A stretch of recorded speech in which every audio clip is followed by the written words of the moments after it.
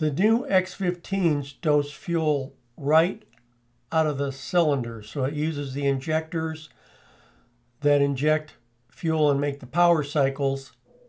Those injectors will inject on the exhaust stroke, and that's how they send dosing fuel back to the aftertreatment. But the older X15s, uh, or ISXs, I should say, and then the very early X15s had what was called a doser injector that was bolted onto a cast iron housing, and that housing was about six to seven inches long, and it bolted to the turbocharger turbine or turbocharger exhaust housing directly. And then a flex pipe would bolt to that cast iron housing and go down to the exhaust pipe. And then that pipe goes to the inlet of the after treatment catalyst.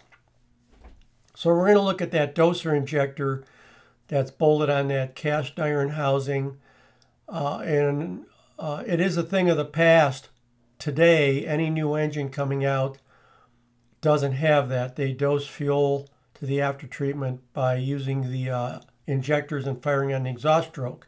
They waited to do it on the uh, X15 because they didn't want fuel in the oil and they were afraid because it was a bigger injector, injected more fuel.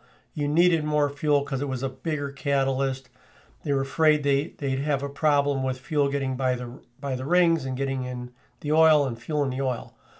Um, if you have uh, on the X15 with the UL2 system, the after treatment uh, regens about every 100 to 130 hours. So by the time you get an oil change, you're still under 5% fuel dilution, so it's not a problem. The only time you have a problem is if something goes wrong in the after treatment and for or the engine and causes the after treatment to need to regen frequently, which is I would say less than about 20 hours. If it regens less than every 20 hours, you're going to end up with fuel in the oil over 10%, and then you're going to have to change your oil and figure out what's wrong and fix it. But let's look at that doser injector that's been on there since 2007 when the 871 hit the street. The injector's gone through a couple of changes. Mainly, if you take it off and look at it, uh, where the fuel comes out of it, if you have an early injector and a late one, you can tell a difference. The newer injector, the tip looks like it's recessed back into the injector. They call that the poppet and they did that to stop carboning of that injector.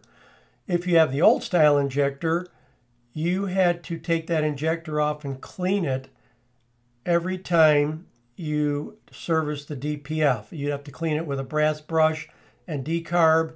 You basically brush the carbon off till it was nice and clean. Then you'd bolt it back out with new gaskets. The newer injector with the poppet, you don't have to clean it anymore. It is self-cleaning. How do you know if you've got the self-cleaning injector? Well, watch one of my earlier videos where I talked about the after treatment dosing block that had the uh, check valve and the fuel pressure sensor and then the air solenoid up on top that pushed air through the injector.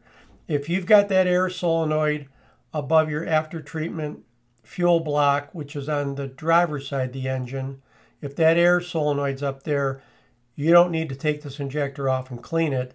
It is self-cleaning if everything's working correctly. So uh, this injector is held down with two long screws. They have uh, 10 millimeter heads. And then there's a fuel line that bolts to it and it's got a uh, electrical lead that plugs into the engine harness and the ECM drives it with a pulse width.